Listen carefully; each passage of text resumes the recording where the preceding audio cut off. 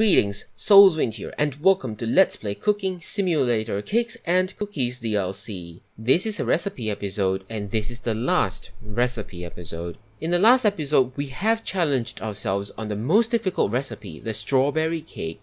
This episode, we return to the fundamentals, and we are baking bread.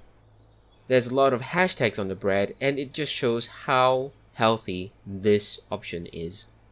There's a lot of free here is egg free, lactose free, and sugar free, nut free as well, and it's vegan too.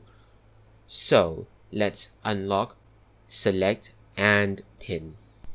This recipe is very simple, even the ingredients are few. We start with the pastry flour 500 grams, salt 10 grams, baker's yeast 30 grams. We would have some remaining, so we get a 20 and a 12. That's 32. That's okay.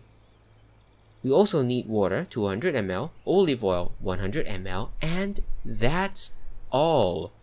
So, shall we begin? Pastry flour. We still cannot rush though. See? Even a little bit quicker and the pastry flour is insufficient. So let's get more. 25 more. Yep, it is 25 pour that in. Good enough. Next, we need to put in the salt.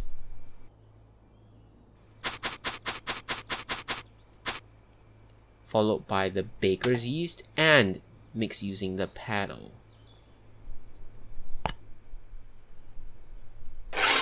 Next, we need the water and olive oil. So bring them over here. Don't topple it. Take it out. Water. And olive oil. That's all. This is the dough, and we can bake the dough. Round cake pan? Isn't that supposed to be a loaf pan? Isn't that supposed to be a loaf pan? It doesn't look like a loaf, but... Usually it's in a loaf pan, right? A loaf of bread, but I guess maybe not always. That's okay, so we just put everything in here and we don't have a lot left. Interesting, so we have one serving. Okay, let's put that in there. 450 and 170. 450, 170. There. The bread is complete. Now let's take a look. This is bread. okay. The color looks like what's in the picture.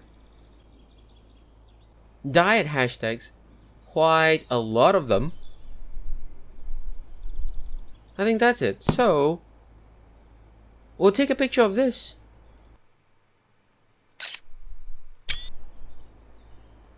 And maybe have this as a comparison. And that's it. This is the last recipe episode of the Cakes and Cookies DLC. Thank you so much for watching. Hope you enjoyed these recipe episodes. That's all I have for now. Have a nice day.